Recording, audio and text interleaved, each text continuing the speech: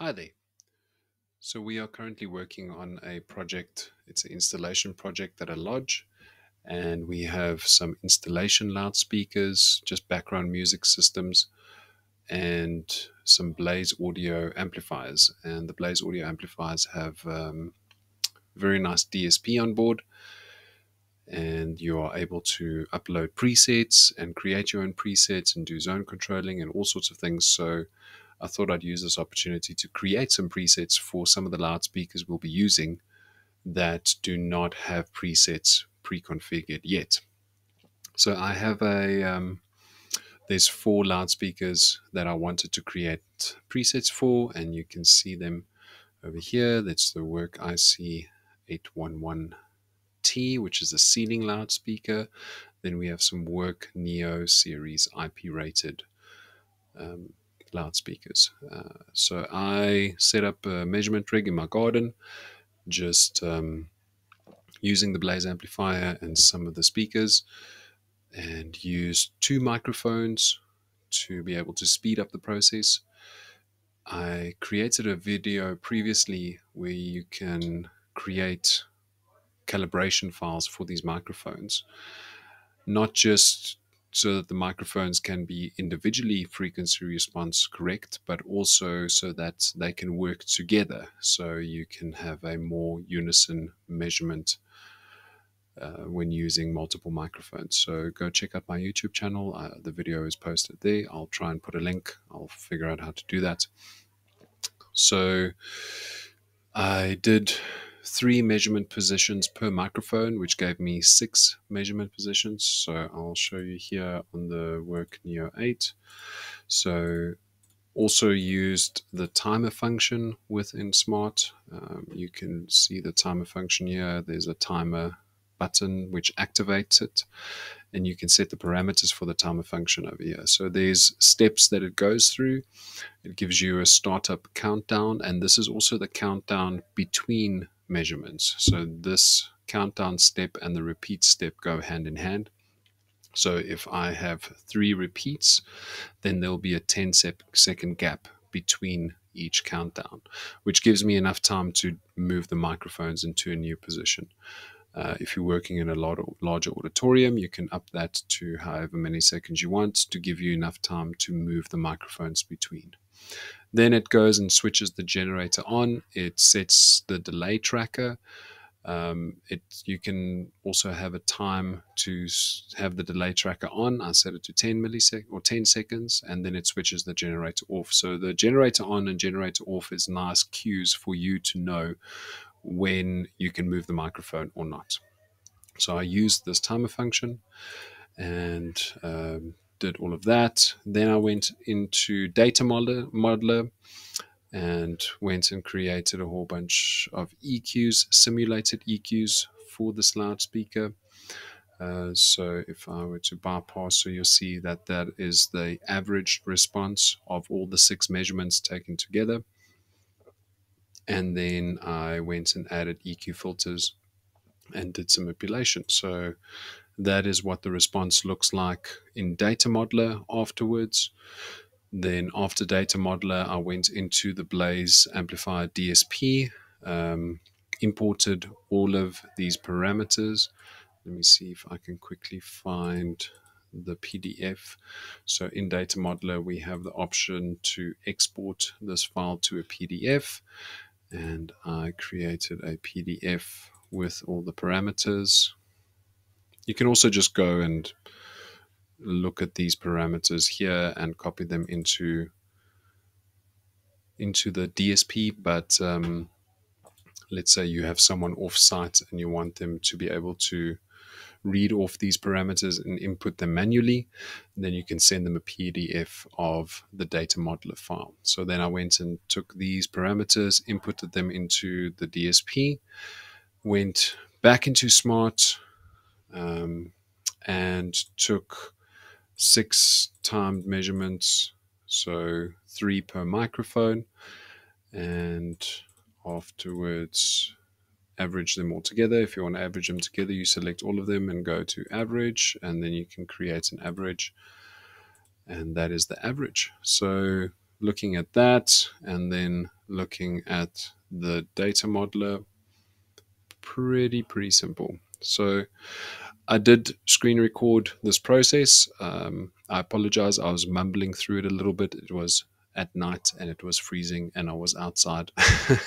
so there's a lot of mumbling and me talking to myself going through this process. But um, yeah, just a nice practical application of using Data Modeler with a corresponding DSP and getting some pretty good results. So enjoy. I'll see you afterwards. Okay, so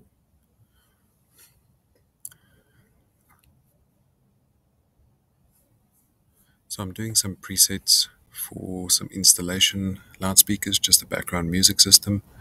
I've already done presets for a 5 inch and a 6 inch speaker. I thought I'd just uh, take you through the process. I'm going to be working on an 8 inch speaker now.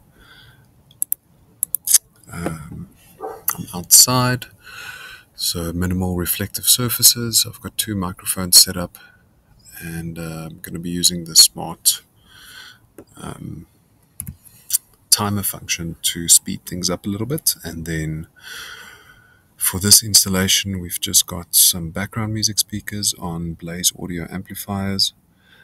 And I thought, well, let's, uh, seeing as Data Modeler has Blaze audio as one of the settings, we'll be um, doing the presets on Blaze audio as well. So let's use this opportunity to do some presets beforehand.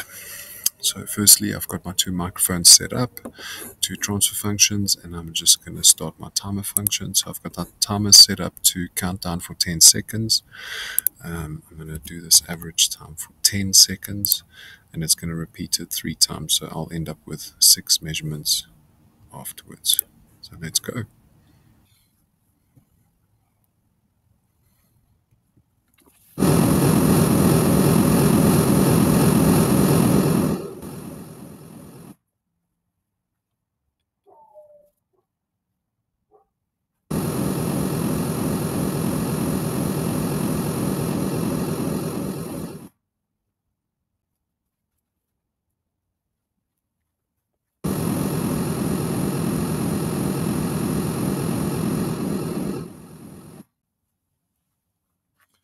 Okay, so there's my six measurements taken. We can see the crossover point is roughly three kilohertz. Um, the measurement positions were taken two at the bottom, two in the middle, two in the top. I'm just going to move all these measurements into one folder and delete the other ones. This one we are going to call uh, eight rule. I'm going to make an average of these and call it Neo.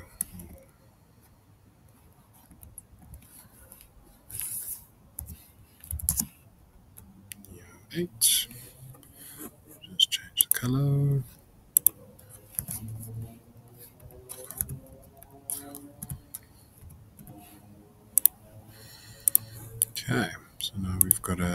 Response of this loudspeaker.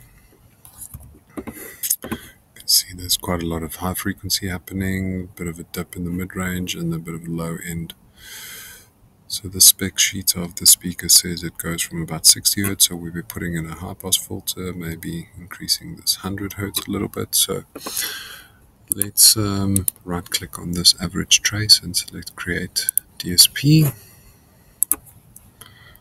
call this work Neo 8 and we're going to select Blaze Audio as our amplifier. There we go. Okay, so we've got the trace on the left hand side here and we're going to start off with our high pass filter fourth order. Oh, uh, then let's start with the lower frequencies. We'll start there with 100 hertz. What is that? That's roughly oh, about 100 hertz. And why did you not do that? There we go. Grab that guy up, change the Q slightly. Okay. Um, so we can maybe increase, let's attack this 11k over here. So that is roughly 11.4.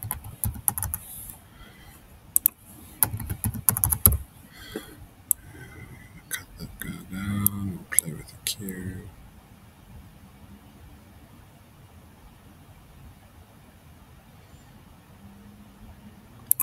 Okay. Maybe we bring up some of this mid-range over here, which is 7k, bit of sibilance.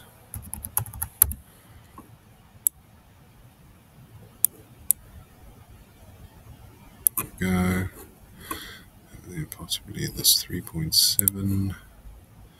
Now this is a lot of the stuff that was going on around the crossover frequency. So we'll see what the resulting measurement gives us. What's that? That's a 2.6.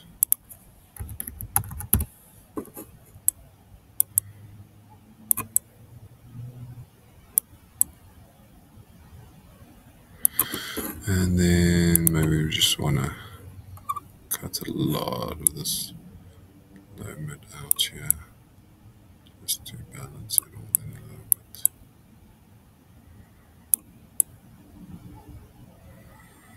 Like so. So if we have a look at that versus that, select this guy.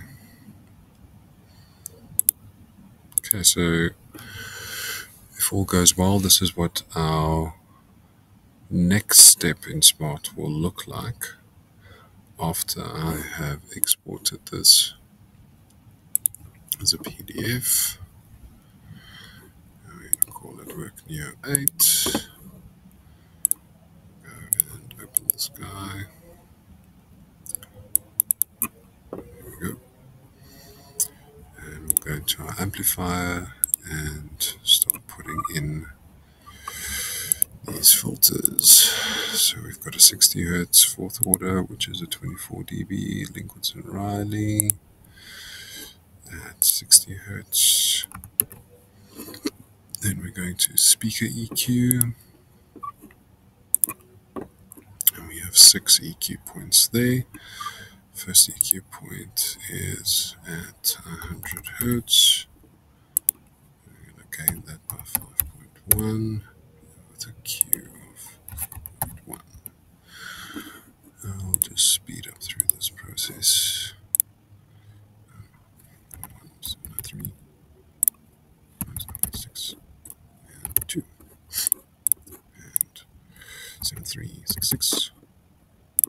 2, and 7366, 2.6, 7. Next EQ point is 3752 three, four. Next one is two six eight five, four, and five, and the last one is four sixty two minus four point six and four. There we go. That's what it looks like with our high pass filter, and let's go back to Smaart and start our timer again.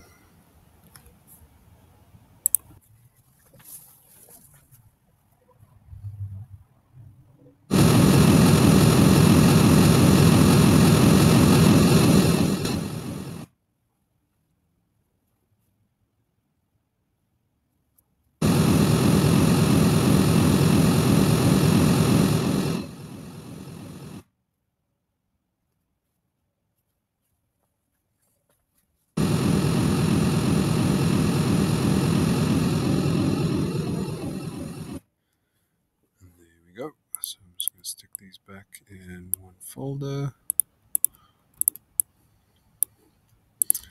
Delete these two. And let's create an average of this. 8 data modeler EQ. BV, BV, BV, and apply. So now if we look at the comparative data, let me just rename this folder. And 8 data modeler EQ compared to our previous response. And if we compare this to data modeler, they not too shabby.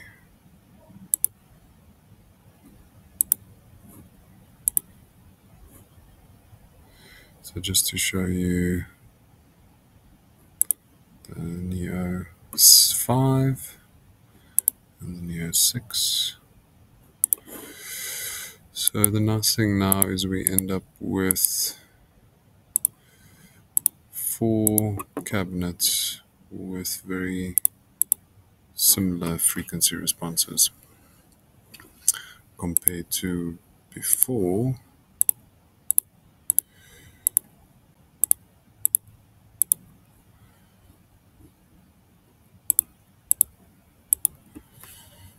all very different responses. Cool.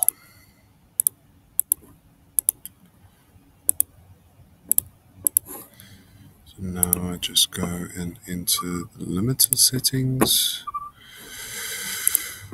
by using this spreadsheet. It's a 70 watt speaker.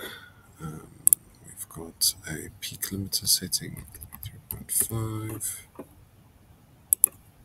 16.7 and 22, 226.7 and we can also do the RMS limiting of 23.7 1400 and 2800 there we go. Okay now go and save this export file. That, that, that, and that. Uh, work Neo IP low impedance. And there we go. Let's just go to this folder. And there's my three presets. And we'll stick them in there. And there's our three presets.